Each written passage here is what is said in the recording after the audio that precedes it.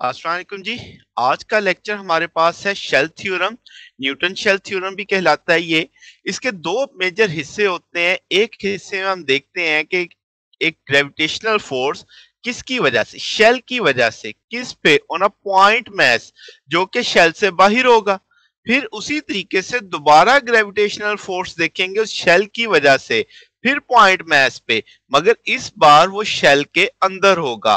तो ये जो दो बातें हैं, ये हमारे पास बहुत इंपॉर्टेंट हो जाती हैं जब हम एस्ट्रोनॉमी में देखते हैं। प्लैनेट्स के ऊपर हम अप्लाई करते हैं ग्रेविटेशनल तब ये आपको उसमें इस्तेमाल करते हैं, वहाँ पे ये इस्तेमाल होते हैं। तो न्यूटन के शेल थ्योरम भी काफ़ी मशहूर है। अब न्यूटन ने शेल थ्योरम में क्या एक्सप्लेन किया?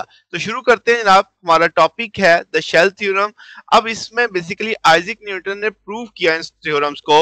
उन्होंने कहा कि भाई, आपके पास जो सिमेट्रिकली सिमेट्रिक ऑब्जेक्ट है सफेरिकली जैसे कोई गोल चीज़ है, जैसे ज़मीन हमारी गोल है, ये दूसरे ऑब्जेक्ट्स को ग्रेविटेशनली क्या करती है? अफेक्ट करती है। क्या मतलब कि जो सफेरिकल सिमेट्रिक ऑब्जेक्ट होगा, वो दूसरे ऑब्जेक्ट्स पे इफ़ेक्ट करेगा। कैसे करेगा कि वो जो उसका सारा मैस है, वो कंसंट्रेटेड है सेंटर पे। क्या मतलब कि अगर जैसे ज़मीन है, ज़मीन किसी दूसरे ऑब्जेक्ट पे क्या लगाती है? फोर्स तो हम समझते हैं या ये प्रूफ करेंगे बाकायदा कि भाई ज़मीन का सारा मैस उसके सेंटर पे कंसंट्रेटेड है। इस तरीके से ज़मीन एक्ट करती है जब वो किसी दूसरी चीज़ पे ग्रेविटेशनल फोर्स लगा रही होती है। तो बात समझ आई?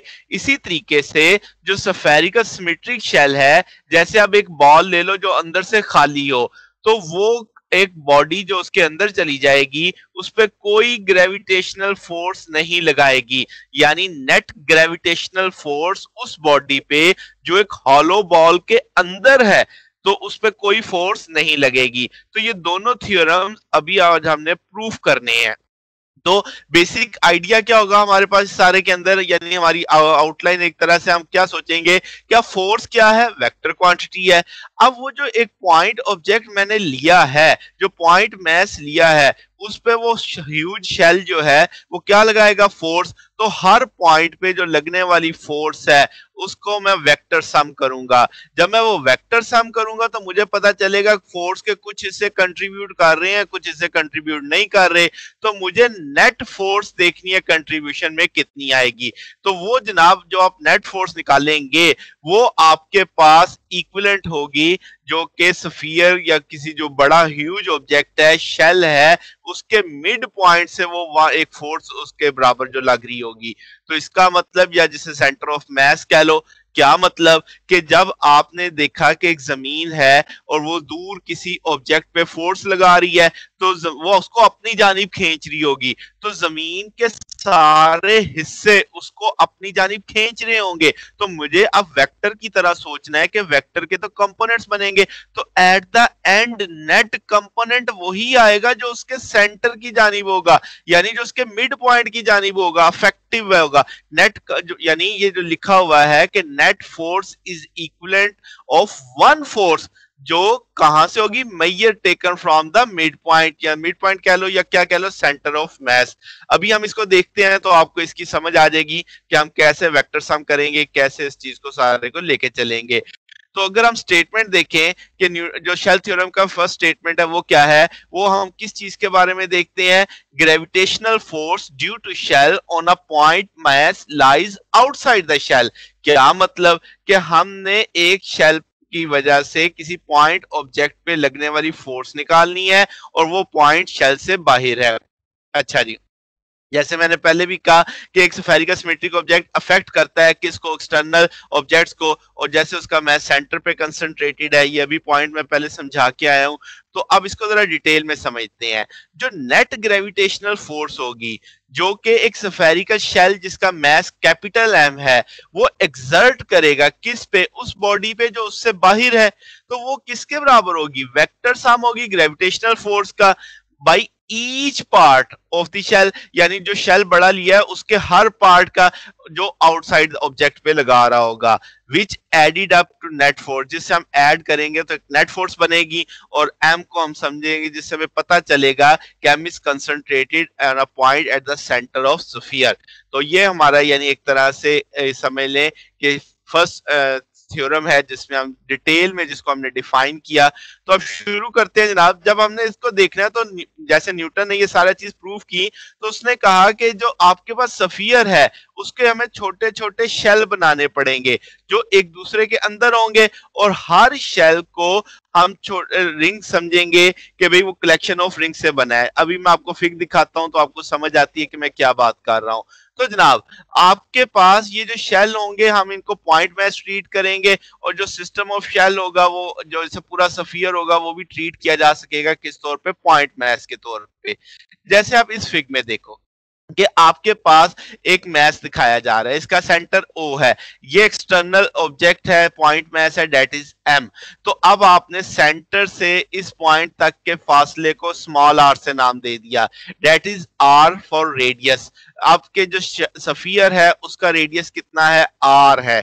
कैपिटल आर है। तो जनाबे वाला, आपने इसके ऊपर एक रेड कलर की एक पट्टी सी देख रहे हैं। ये एक स्ट्रिप मैंने ली सर्कुलर स्ट्रिप है।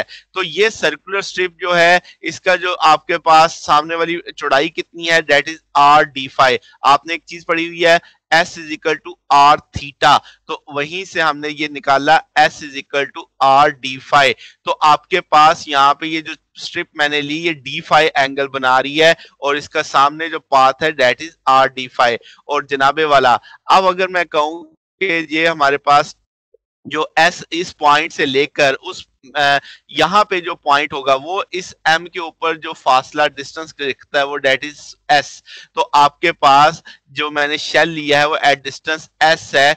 किस से जिसपे हमने ग्रेविटेशनल फोर्स कंप्यूट करनी है? यानी मैंने यहाँ से यहाँ तक ग्रेविटेशनल फोर्स कंप्यूट करूँगा, फिर मैं इस हिस्से से भी कंप्यूट करूँगा, तमाम पार्ट्स इस शेल के ऊपर जितने पैच बनाऊँगा, छोटे छोटे छोटे छोटे, उन सबसे इस एम पे लगने वाली फोर्स को देखूँगा और उन सबको जमा करूँगा।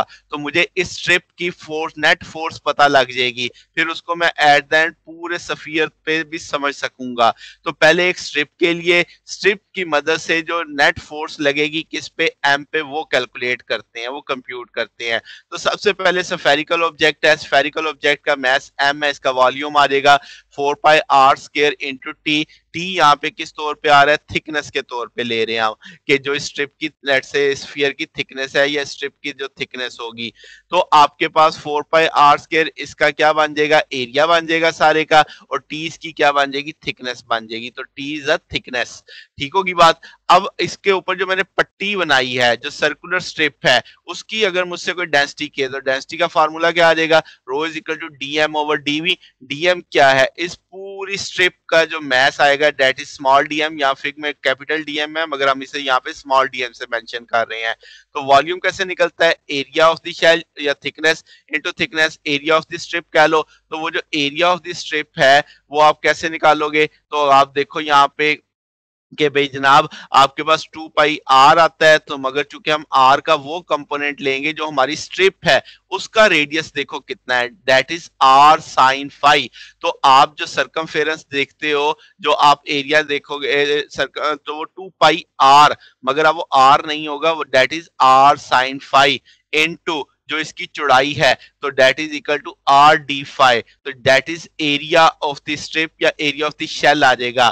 तो ये अब आपको समझ आ रही है कि two pi R sine phi क्या है? डेट इज़ सरकम कुल लंबाई। इस स्ट्रिप की कुल लंबाई जो है, और आर डी फाइव क्या है? इसकी जो चौड़ाई है। तो आपके पास लंबाई length into width that is length and that is width तो आपके पास डेट वो क्या बन जाएगा? एरिया देन थिकनेस हमने पढ़ा टी है तो ये चीज़ सारी मिलके आपके पास क्या बनेगी? वॉल्यूम बनेगी। तो डेंसिटी को वॉल्यूम से ज़रूरत देंगे तो डीएम आ जाएगा। जैसे इस केस में डीएम इक्वलेंट आ जाएगा रो डीवी तो यहाँ से डीवी निकाला मैंने। एरिया और थिकनेस को मल्टीप्लाई करेंगे तो वॉल्यूम बनेगा। वॉल्यूम एलिमेंट तो एरिया कैसे निकला?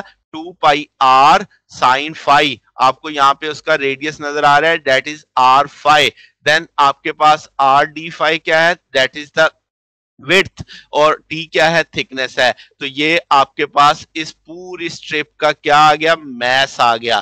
ठीक होगी बात? यहाँ से अब एक नई बात शुरू हो जाएगी। तो ये आपने फिक देख ली है। अब इस फिक को हम एक नए तरीके से समझते हैं। लेट से जनाब, अब वही फिग है। उसका मैंने सिर्फ़ वो पार्ट ले लिया। एक एंड पे मैच ले लिया डीएमए और दूसरे एंड पे मैच ले लिया डीएमबी अब यहाँ से इस स्मॉल जो आपके पास पॉइंट मैच है, ये इसको अपनी जानिब खींचेगा, क्योंकि बड़ा मैच इधर है तो ये इसको अपनी जानिब खींचेगा। तो ये आपके पास जो फोर्स है between D M A and M that is D F A that is mention D F A और एम और डी एम बी के जो फोर्स है that is D F B जो आपको यहाँ पे इस फिग में दिखाई दे रही है।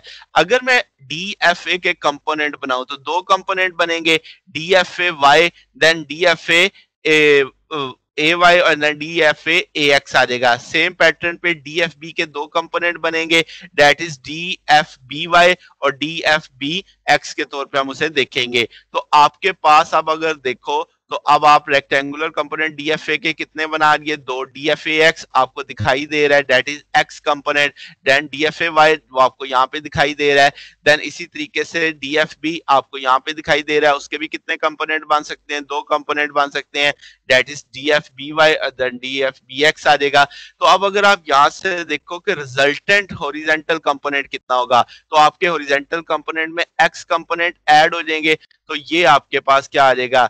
D F X total X component जो कि D F A X plus D F B X दोनों की डायरेक्शन देखो सेम है। तो दोनों ऐड हो जाएँगे। अब यहाँ पे ग्रेविटेशनल लॉ लगेगा। चूँकि आपके पास एक्स कंपोनेंट है तो क्या हम इसे D F A cos alpha D F B cos alpha लिख सकते हैं। सिमेट्री की वजह से दोनों तरफ़ का एंगल अल्फ़ा है। तो आपके पास अब न्यूटन का ग्रेविटेशनल लॉ लग जाएगा, क्योंकि हमारे पास G D M A M over S square क्योंकि यहाँ से यहाँ तक का पाथ कितना है? एस है। तो आप जानते हैं, एक मैच कितना है? डी एम है। डी एम ए है। दूसरा मैच कितना है? एम है। बीच की दूरी कितनी है? एस है। तो आपके पास यहाँ पे आप इसे लिख सकते हैं G D M A M over S square into cos alpha same pattern पे इधर एम और डी एम बी के बीच में भी आप निकाल सकते हो।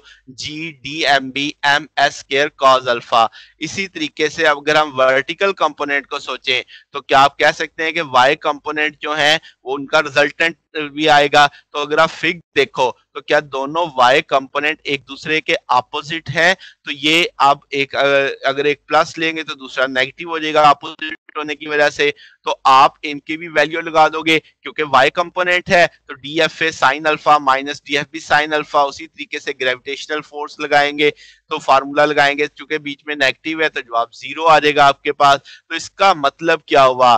कि जो नेट कंट्रीब्यूशन आ रही है आपके पास तो वो सारी फोर्सेस की, वो सारी की सारी अब आप निकाल सकते हैं। यानी यहाँ पे भी मैथ रख सकते हैं, यहाँ पे मैच यहाँ पे मैथ तो अब जितना भी मैच रखेंगे तो इस तरीके से नेट कंट्रीब्यूशन निकाल लेंगे वर्टिकल कंपोनेंट का तो वो हमेशा एक दूसरे को क्या करेगा? कैंसल आउट करेगा।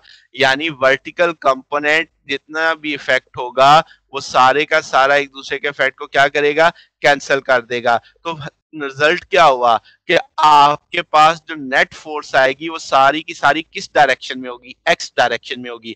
इसका मतलब ये हुआ कि अब अगर मैं नेट फोर्स देखना चाहता हूँ तो आपके पास वो कैसे निकलेगी? सारी एक्स वाली फोर्सेस को मैं सम अप कर दूँगा, क्योंकि इस ट्रिप के ऊपर जितने भी पॉइंट्स थे, मैं सबका क्या लूँगा? D M A D M B C तो इस तरह सारे मैसेज जो इस पूरी स्ट्रिप पे जितने भी मैं बना सकूँगा, उन सब की वजह से जो आपके पास फोर्स आएगी, वो मैं निकाल पाऊँगा। तो आपके पास एक्स कंपोनेंट ही बचेगा सारा। D F A X plus D F B X plus D F C X आ जाएगा।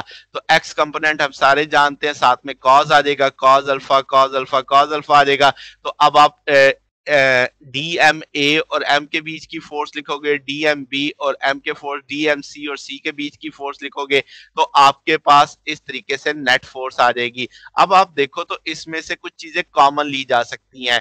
कॉज अल्फ़ा कॉमन लिया जा सकता है G M S square common लिया जा सकता है। अब ये जो ब्रैकेट है, इसका मतलब जो आपने छोटे छोटे मैस लिए हैं उस स्ट्रिप के ऊपर, वो सारे जमा हो गए। तो क्या total mass of the circular strip आ जाएगा? Total mass of the circular strip तो आपने अभी यहाँ पे निकाला था कि that is total mass of the strip जो आपने स्ट्रिप ली थी यहाँ पे that is rho two pi R sine five cross आपके पास R D five into T ये मैंने अभी आपको समझाया था कि कैसे आया था। तो क्या ये आपके पास जो सर्कुलर स्ट्रिप है, आप उसका मैथ अब यहाँ पे बन रहा है तो अब आप वो वैल्यू यहाँ पे प्लेस कर दोगे। तो हमने मैथ की वैल्यू लगा दी, जो वैल्यू हमने वहाँ पे निकाली थी। Rho two pi R sine five into R D five into T. तो ये सारी वैल्यू लग गई। अब इसे अरेंज कर लेते हैं। टिग्नोमेट्रिक फ़ंक्शन मैंने अलग कर दिए हैं। तो cos alpha sine five D five अलग करके डिवाइडेड बाई एस केयर था। बाकी सारा पैरामीटर एक तरफ़ कर दिया। तो ये जनाब वो फोर्स आ गई हमारे पास जो हमने नेट फोर्स निकाली, जो कि हमारे ऑब्जेक्ट और पॉइंट मैस के बीच में लग रही थी। अब ये टिग्नोमेट्रिक फ़ंक्शंस की वैल्यूज़ अगर हमने देखनी है तो मैं क्या करता हूँ, इसी तस्वीर को थोड़ा सा मजीद सिमेट्रिकली कर लेता हूँ इस तरीके से। अब आप देखो, ये एस है टोटल ये डिस्टेंस कितना था? आर था। तो अगर मैं कहूँ, ये आर है तो trigonometric function R sine five तो that is R cos five तो रिमेनिंग डिस्टेंस कितना होगा? R minus R cos five ये एस आपके पास हाइपोटेनस का रोल प्ले कर रहा है इस ट्राइंगल का. तो इसका मतलब इसे आप हाइपोटेनस के समझ सकते हो एस को. तो अब ये चीज़ें हम देख, इस्तेमाल करेंगे लॉ ऑफ़ कोसाइन में. अगर मैं कहूँ कि आप एस स्केयर निकालो तो एस स्केयर किसके बराबर आ जाएगा? R sine five square plus R minus R cos five का स्केयर तो ये मैंने कर दिया। ये परपेंडिकुलर है, ये बेस है। तो बेस आपके पास यहाँ पे टोटल ये आ जाएगा। आप इसका स्केयर ओपन करोगे तो स्केयर ओपन करोगे तो क्या होगा? R square sine square five R square plus R square cos minus two R R cos five आ जाएगा। तो अब आपके पास क्या है जनाब? आपके पास इन दोनों को आप सम अप करोगे तो डेट इज़ कॉमन ले लोगे तो आर स्केयर आ जाएगा। तो बाकी क्या बचेगा? R square capital R square minus two R R cos five आ जाएगा आपके पास।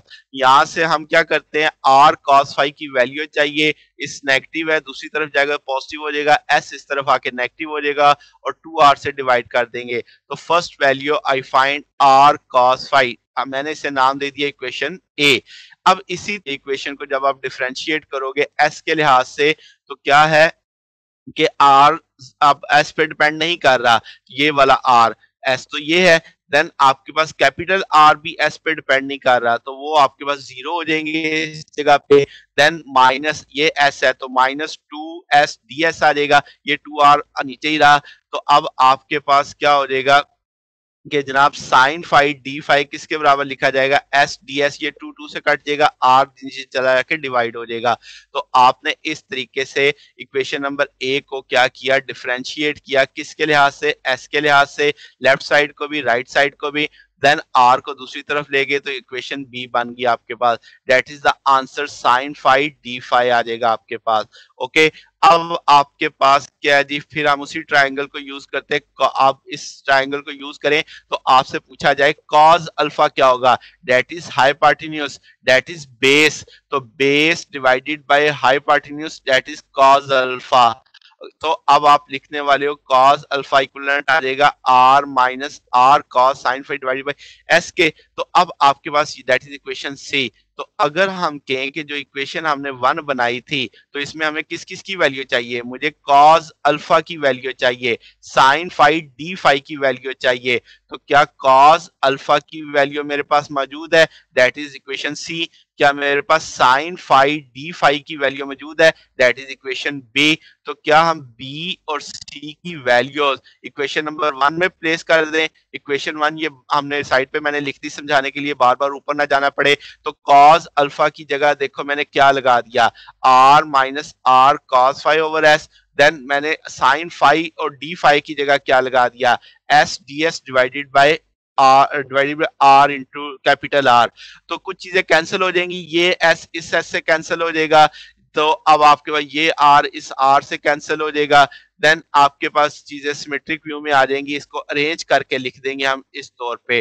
डी एफ़ बराबर आ जाएगा two pi R G M rho T S square R R minus R cos D S का आ जाएगा दैट इज़ इक्वेशन टू अब ये जो इक्वेशन टू है, इसमें हम इक्वेशन ए की value that is equation A R cos five that is R cos five तो क्या हम ये आर कॉस फाइव की वैल्यू इधर प्लेस कर सकते हैं इस इक्वेशन टू में? तो आर कॉस फाइव की जगह क्या लिखा जा सकता है? R square plus R square minus S square divided by two R that is equation A जो मैंने अब प्लेस की है किसके अंदर? इक्वेशन टू में। तो क्या आप ये वैल्यू प्लेस करोगे इसके अंदर? हमने इसकी वैल्यू निकाली हुई है इक्वेशन ए में तो अब आप जब ये वैल्यू प्लेस कर दोगे, इसका एलसीएम ले लोगे तो आपके पास इक्वेशन मजीद कुछ इस शक्ल में आ जाएगी। अब आप इसको थोड़ा सा अरेंज कर दें। आप एस स्केयर था ये टू आर आर स्केयर हो जाएगा। टू बाहर चला जाएगा और एस स्केयर को अंदर ले गए। तो एस स्केयर अंदर आ गया रिमेनिंग टू आर में से एक आर स्केयर माइनस हो जाएगा तो आर स्केयर आ जाएगा minus R square plus S square into D S आ जाएगा। तो यहाँ से ये टू बाहर आया टू इस टू से कैंसिल हो जाएगा तो रिमेनिंग आपके पास ये बच गया pi R G M rho T divided by R square और यहाँ से ये एस स्केयर इस वाले फैक्टर को भी डिवाइड करेगा, ये एस स्केयर इसको भी डिवाइड करेगा। तो दोनों को हमने अलग अलग करके लिख दिया, यहाँ से एस स्केयर एस स्केयर से कट जाएगा तो वन आ जाएगा तो ये फैक्टर आ गया अब आपके पास। अब क्या किया जा सकता है? अगर मैं थोड़ा सा इस एस स्केयर को रखूँगा, इसके साथ ही मगर अलग करके लिख दिया है।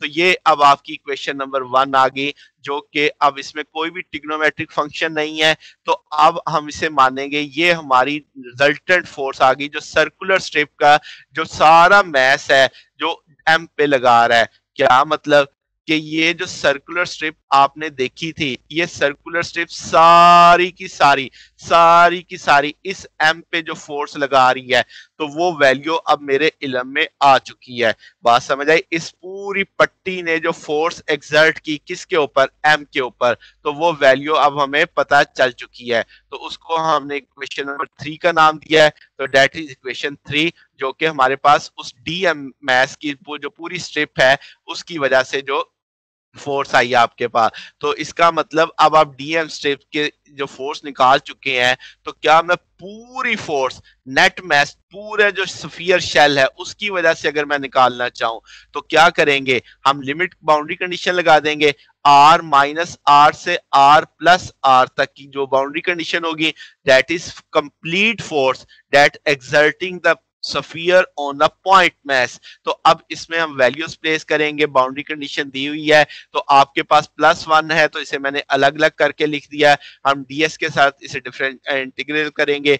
तो अब आपके पास वन ओवर एस स्केयर आगे उसका डेरिवेटिव मौजूद है, इसका डी इंटीग्रल से खत्म हो जाएगा बाउंड्री कंडीशन लग जाएगी वैसे ही, दोनों की बाउंड्री कंडीशन सेम है तो मैंने इकट्ठी करके लिख दी, आप इसको करेंगे तो आप कहेंगे ऊपर जाएगा एस की पावर टू एक पावर ऐड करेंगे डिवाइड करेंगे तो वन माइनस एस के तौर पर बाकी बचेगा। अब ये जो वन माइनस एस है, इसके अंदर भी बाउंड्री कंडीशन लगनी है एस के साथ भी बाउंड्री कंडीशन लगनी है तो वो बाउंड्री कंडीशन लगा दी। पहले हम क्या लगाएँगे? एक दफ़ा लगेगा minus one over R plus R, यहाँ पे माइनस आना था, बट नेगेटिव नेगेटिव क्या हो जाएगा, पॉजिटिव हो जाएगा। One over R minus R आ जाएगा। देन आपके पास सेकंड में एस में लगा देंगे R plus R minus R minus R तो यहाँ से इससे सॉल्व किया जा सकता है एलसीएम ले लेंगे इसका तो वो R plus R R minus R इसे सॉल्व करेंगे, इसकी ब्रैकेट ओपन कर देंगे तो टू आर बचेगा। यहाँ पे भी एलसीएम लेने के बाद सॉल्व करेंगे तो ये आर इस आर से कट जाएगा टू आर बचेगा। ये नीचे वाला फैक्टर क्या लिखा जा सकता है? R square minus R square ये इस R square minus R square से कट जाएगा, ये माइनस आर इस पॉजिटिव आर से कट जाएगा तो टू आर बचेगा। इसका टू आर यहाँ से बचा, टू आर यहाँ से बचा। तो टोटल आपके पास ये बन जाएगा फोर आर। तो जनाबे वाला, क्या एक आर यहाँ पे, एक आर यहाँ पे है तो ये आर स्केयर आ जाएगा, फोर भी आ जाएगा तो four pi R square rho T. तो जनाबे वाला, क्या आप समझ आ रही कुछ आपको? क्या आपने डेंसिटी पढ़ी थी जो सबसे शुरू में मैस ओवर वॉल्यूम तो वॉल्यूम आपने कितना पढ़ा था? Four pi R square T अगर ये इस तरफ़ चला जाए रो से मल्टीप्लाई कर दे तो टोटल मैस आ जाएगा। इसका ना ब्रैकेट में लिखी हुई ये सारी चीज़ that is M total mass of the sphere तो क्या हम इसे कैपिटल एम मेंशन कर सकते हैं? तो ये वही फार्मूला आ गया जो कि न्यूटन का था। इसका मतलब ये हुआ, हम यही समझेंगे कि आपकी वो जो एक्स डायरेक्टेड फोर्सेस थी, क्या वो सारी उसके सेंटर की जानिब नहीं थी? तो इसका मतलब हम समझेंगे सारा जो मैस था उस सफियर का, वो सारे का सारा कंसंट्रेटेड था। कहाँ पे? उसके सेंटर पे। क्यों? क्योंकि जितनी भी नेट फोर्सेस आ रही थी डेट इज़ एफ़ एक्स वाली थी that is F A X that is D F B X that is D F C X are are directed toward the center whole sphere का जो mass होगा the whole sphere should be concentrated at the इसका mass concentrate होगा किस पे? Centre की जानिब concentrate होगा। तो ये जो अब आपने चीज़ समझी that is the first shell theorem कि अगर कोई चीज़, एक ह्यूज ऑब्जेक्ट बाहर पड़ा है तो हम उसको समझेंगे कि उसका जो नेट मैस है, वो सेंटर पे कंसंट्रेटेड है। अगर हम कहें कि स्मॉल आर कैपिटल आर के बराबर है, यानी वो जो ऑब्जेक्ट था आर दूरी पे था, मैं कह देता हूँ वो आर पे है सरफेस ऑफ़ अर्थ पे है तो तब ये फार्मूला इस शक्ल में आ जाएगा G M M over R कि अगर ऑब्जेक्ट कहाँ पे पड़ा है, वो जो आउटसाइड ऑब्जेक्ट है सरफेस ऑफ़ अर्थ पे होगा, तब हम ये फार्मूला बना लेंगे जी एम ओवर आर के साथ। बात समझ आई? इसी तरीके से आप स्टेटमेंट देखेंगे सेकंड शेल थ्योरम की। तो सेकंड शेल थ्योरम किस तौर पे है? कि मैंने शेल की फोर्स ही देखनी है किस पे? पॉइंट मैस पे। मगर अब वो कहा है? इनसाइड द शेल है। तो जनाबे वाला, अब मैं कहता हूँ एक बॉडी है स्फेरिकली सिमेट्रिक शेल है, मगर समझ लो हॉलो बॉल है। तो वो कोई फोर्स नहीं लगाएगी। No external force no net force exert करेगी। किस पे? एनी ऑब्जेक्ट जो उसके अंदर आएगा। और वो ऑब्जेक्ट जहाँ मर्ज़ी हो, उसकी पोजीशन जो मर्ज़ी हो शेल के अंदर, उस पर कोई नेट फोर्स एग्जर्ट नहीं होगी। ये आपके पास सेकंड शेल थ्योरम कहलाता है, यानी अब हम इनसाइड जाने वाले हैं। तो इसी तरीके से, उसी तरीके हम कहेंगे स्फेरिकल सिमेट्रिक शेल है, उसके अंदर एक मैस आ गया है तो हमें वेक्टर सम देखना है ग्रेविटेशनल फोर्सेस का, जो कि, जैसे हमने पहले देखा है तो ये वेक्टर सम अब हम देखेंगे वो कितना आएगा? ज़ीरो आएगा। इसका मतलब कोई नेट फोर्स हमारे स्मॉल एम पे एग्जर्ट नहीं कर रही होगी। तो स्फेरिकस मेट्रिक जो बड़ा मैस है, वो हमारे मैस जो उसके अंदर आ गया है इन साइड द शेल उस पर कोई फोर्स एग्जर्ट नहीं करेगा। तो जनाब, अब हमने हमारे पास मैस एम है, वो इनसाइड है। हम ये अब जो इंटीग्रेशन की जो कंडीशन है, वो चेंज कर देते हैं। अब जो लिमिट है that is R minus R और आर प्लस आर पिछली दफ़ा की वाले से चेंज हो गई रिवर्स हो चुकी हैं। तो अब आपने बाउंड्री कंडीशन चेंज कर दी। इक्वेशन थ्री याद है, जो हमने नेट फोर्स बना ली थी कि भाई हमारे बड़ा शेल किसी छोटे मैस पे इतनी फोर्स लगाता है। वो इक्वेशन ये है। तो अब आपने ये जो फोर्स निकाली थी, याद है, ये एक स्ट्रिप की थी। जैसे यहाँ पे भी आपको एक स्ट्रिप दिखाई दे रही है जो कि स्ट्रिप का मैस कितना था डीएम जो उस पार्टिकल एम पे क्या लगाती थी फोर्स तो अब मैं उसी तरीके से नेट फोर्स देखूँगा। बट अब बाउंड्री कंडीशन क्या होगी? R minus r r plus r पिछली दफ़ा इससे उलट थी। पिछली दफ़ा आपने लिखा था r minus small r minus capital R था। अब capital R minus small r capital R plus R that is reverse from uh, uh, previous case से। तो अब आप ये बाउंड्री कंडीशन लगाएँगे सेम उसी तरीके से अलग अलग कर लेंगे, उसी तरीके से उसे डिफरेंट इंटीग्रल करेंगे इंटीग्रल लगा के बाउंड्री कंडीशन देंगे। अब ये जो नेगेटिव आया है, क्या ये नेगेटिव अगर मल्टीपल हो रहा है, क्या मैं इसके साथ करूँ तो इनका ऑर्डर चेंज हो जाएगा? तो अगर मैं नेगेटिव खत्म कर दूँ तो क्या ये पहले था? Small r square minus capital R square अब क्या हो जाएगा? Capital R square minus r square तो नेगेटिव खत्म हो गया यहाँ से, इधर मल्टीपल हो गया। अब बाउंड्री कंडीशन लगा देते हैं। तो आपके पास क्या बनेगा? One over r plus r minus one over r minus r same S के साथ लग जाएगा। तो r plus r minus r minus r इसे सॉल्व करते उसी तरह एलसीएम ले लेते तो आपके पास यहाँ पे टू आर बनता यहाँ पे भी आपके पास माइनस का टू आर आ जाता ये नीचे वाले फैक्टर को मल्टीप्लाई करते तो ये बनता r square minus r square जो कि इसके साथ कैंसिल हो जाता अब माइनस टू आर और प्लस टू आर इसको सम करते तो ज़ीरो आता। इसका अलग नेट फोर्स कितनी हो गई आपके पास? ज़ीरो आ गई। तो यही चीज़ तो हमने पढ़ी कि जो सफेरिकल सिमेट्रिक शेल होता है उसमें नेट ग्रेविटेशनल फोर्स कितनी हो जाती है? ज़ीरो जब कोई बॉडी उसके किधर होता है? इनसाइड होता है। तो जनाब, आज के दिन आपने देखा कि हमने क्या देखा न्यूटन के शेल थ्योरम देख के कि एक ह्यूज ऑब्जेक्ट जब किसी दूसरे स्मॉलर पॉइंट ऑब्जेक्ट पे फोर्स लगा रहा होता है तो हम समझते हैं कि ह्यूज ऑब्जेक्ट का सारा मैस कंसंट्रेटेड है उसके सेंटर में। ठीक होगी बात। और इसी तरीके से जब कोई स्मॉलर मैस किसी ह्यूज मैस के अंदर आ जाता है तो ह्यूज मैस उस पर कोई फोर्स एग्जर्ट नहीं करता। Vector sum of all forces कितना हो जाता है? ज़ीरो हो जाता है। तो जनाबे वाला ये आज का लेक्चर था हमारे पास। अगर आपने कोई क्वेश्चन हो, कोई बात पूछनी हो तो आप कमेंट्स में पूछ सकते हैं। अगर आपको लेक्चर पसंद आया हो तो वीडियो को लाइक कीजिएगा, अपने दोस्तों के साथ शेयर कीजिएगा चैनल को भी सब्सक्राइब कर दीजिएगा। आज के लिए बस इतना ही। बकिया इनशाला फिर कल देखेंगे। ओके अल्लाह हाफिज।